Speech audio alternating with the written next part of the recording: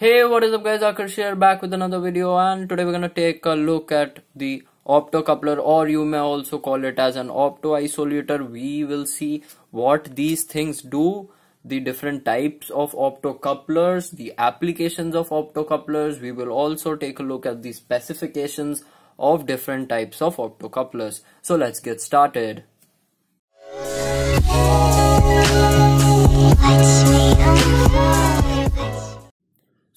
As the name suggests, the optocoupler or the optoisolator somewhat uses light for coupling or isolating two different circuits. So let's see what isolation is. So this is a AC re uh, a Wi-Fi controlled relay switch circuit. Uh, so here you may see between two lines there are gaps. These are called isolations which isolations which are used for uh, preventing sparks between two high voltage rails. Similarly, you can see isolation cut slot over here, over here, and over here also, and over here also. So this is what isolation in electrical terms means. Now, opto isolator doesn't mean that you're uh, isolating two different optical sources. No, no, no. It is that you are uh, isolating two different parts of the circuits using optoelectronics. So, uh, what basically this has is, let us see. So, um, this is say a circuit part 1, C1 and let us say this is C2, circuit part 2.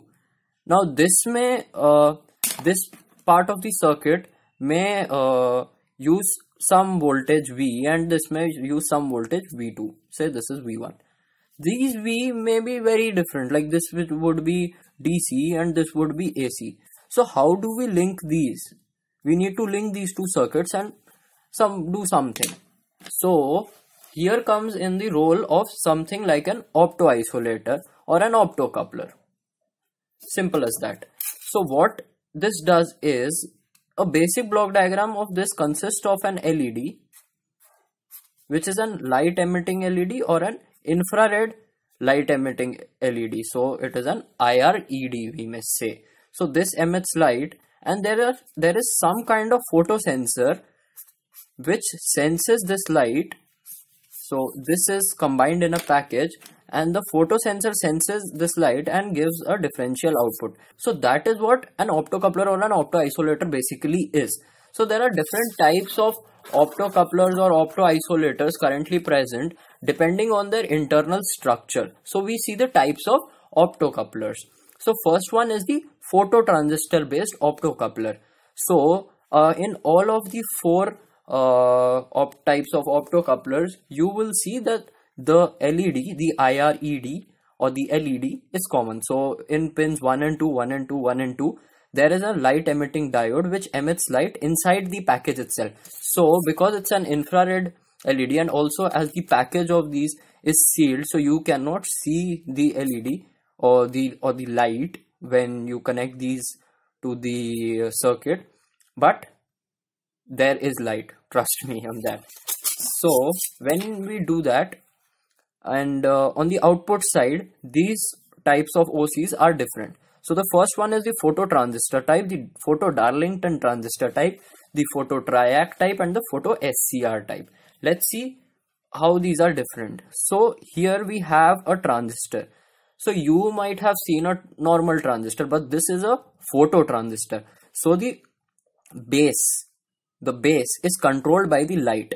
So according to the amount of light this LED or the IRED emits and this base receives according to that the current flowing between those depends on the base of the transistor or the phototransistor now this base is but connected optically not electrically optically connected to the diode. Similarly here we have a pair of transistor. This is a normal transistor and this is a darlington trans uh, a photo transistor and these are combined in a darlington combination to increase the overall gain of the transistor. So a small amount of light falling on this phototransistor will emit some current from this emitter to this base of the normal transistor and this will in overall create a good amount of gain for the second transistor.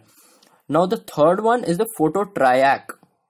So in the phototriac type there is a triac at the output. Now all of these combinations you may see will have the third pin but this doesn't in general. So uh, this is the photo triac and there's a triac at the output. Similarly there's a photo scr one where there is a scr at the output. So the scr is a silicon control resistor and this is a triac. Uh, you may see one of my videos on the triac. I'll put it in the links below the i button above. So these two are generally used in dc circuits and these two are generally used in alternating current circuits. And uh, again you may see that this is this is and this and also this. These two parts of the circuits aren't connected electrically anyways. They are optically coupled. So there is no connection between these two. So these are the types of the optocouplers that uh, are basically majorly used. Now coming back to the uh, normal use case scenario of the optocouplers now I pulled out these two optocouplers from my drawer of components. This one is the MOC3021 which is a photo triac type and this is the PC817. Switching back to the uh, types of the optocouplers, I'll tell you the uh, major use paths. The photo transistor is the PC817. Photo Darlington are the, these are paths number. So 4N32 or 4N33 uh, for the photo triac one MOC3021 or UN35 uh, for the photo SCR one there's MOC 3071 or 3072 MOC is the family for AC uh, optocouplers and you will find 4N is for the DC optocouplers and also PC is for DC optocouplers. Now you may also see this mark which I have mentioned in these three optocouplers. This is sixth pin which is used for reducing the noise in the circuits. So I'll explain how this happens is when you want to make a type of a trigger based circuit wherein this LED triggers a voltage and this gets an output but there is a possibility that that there will be noise due to noise this circuit might get triggered so this pin is generally connected inside of the optocoupler to a ground or a different uh, voltage level signal but here it is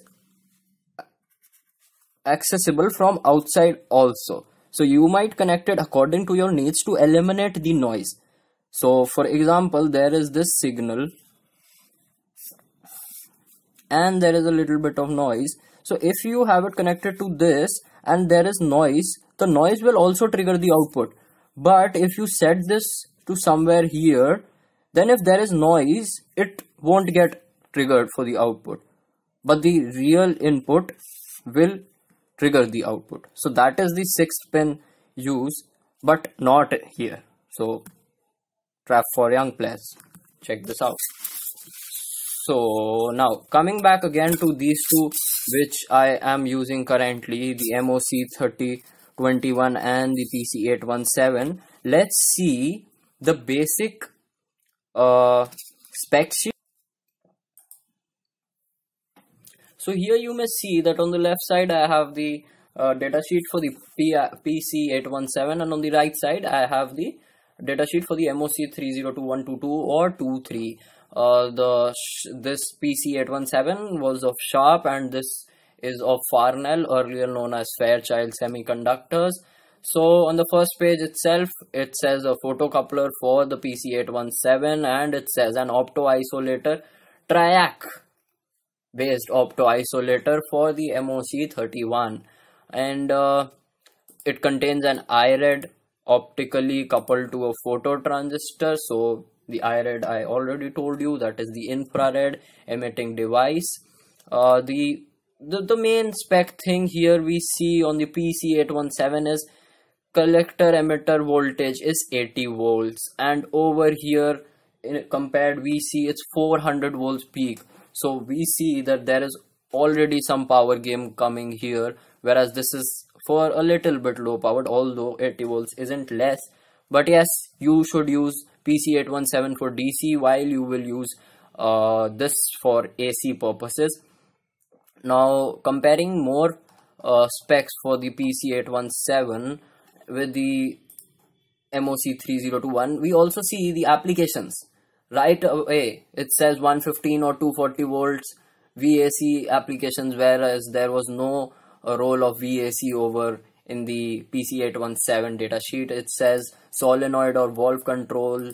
It says AC power switches interfacing microprocessors 215 volts AC peripherals. Also now to the main specs the reverse voltage for this is 6 volts whereas this is 3 volts so you might be able to uh, use the PC817 with a 5 volt logic level whereas you will have to step down uh, the voltage for using with MOC3021 as it has only 3 volts as the input voltage for the LED driving purposes. The output current here is 50 milliamperes. 50 milliamperes. Yes, that's correct. Only 50 milliamperes. So we use it for DC purposes. Whereas for the MOC3021, the output terminal voltage is 400 volts. Yes, 400 volts. And the current rating over here is 1 amp. That is pretty much fine. So, but you might use some boosting circuits after that these were the data sheets now checking out the cost for these so i have this open on aliexpress. So the cost of the moc 3021 for 10 pieces is like a dollar.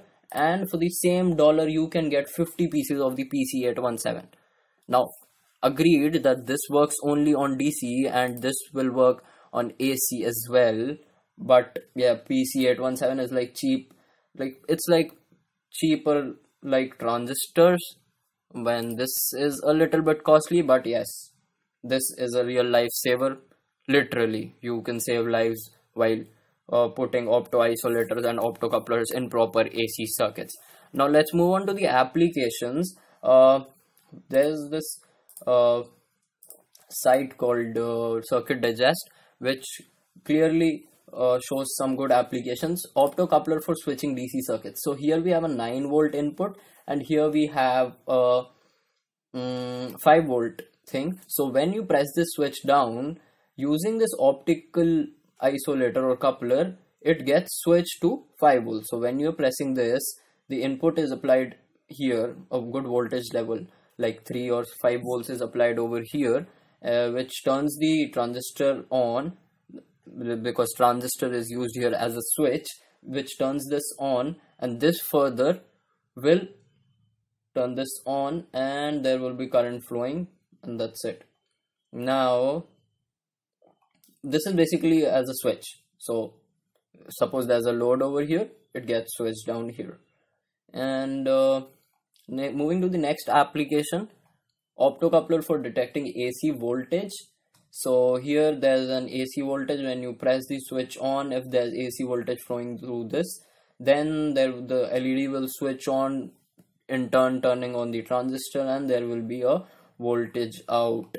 Uh, the third application you'll see is optocoupler for controlling AC circuit using DC voltage. So this is what majorly the uh, optocoupler is used with the BT136 I'll link down my video on the BT136 for the similar application down below. You might see it.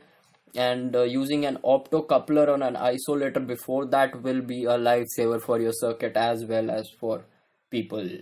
Here when you press this switch uh, the LED gets activated this gets on and so on. This triac gets on and the AC lamp also switches on. Now moving back to the sheet you after after learning about this thing you might say that why not I use a relay circuit instead of all this complicated? Although it's not complicated but why not use a relay circuit for the same thing relay does the same thing by controlling uh, high voltage AC appliances as the optocoupler and the triac combination in the application did. But it will only do it for on and off. So what i mean to say is when you need so this is the bulb. Okay. I should have drawn it with yellow but okay fine. So this is the bulb and you have a microcontroller okay? This has a logic level of 5 volts. But this bulb has a voltage level of 220 volts. So now there needs to be an interface between these two. You may say that we'll use a relay. Fair enough. But could you can you dim this uh, bulb using the relay? No you cannot. So if the microcontroller provides a logic 1 or a logic 0 then this uh, bulb turns on or off.